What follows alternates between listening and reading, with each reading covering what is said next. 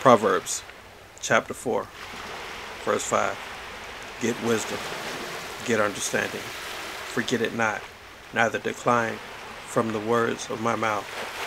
Forsake her not, and she shall preserve thee. Love her, and she shall keep thee.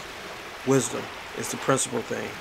Therefore get wisdom, and with all thy getting, get understanding. Exalt her, and she shall promote thee. She shall bring thee to honor when thou doest embrace her. She shall give to thy head an ornament of grace, a crown of glory shall she deliver to thee.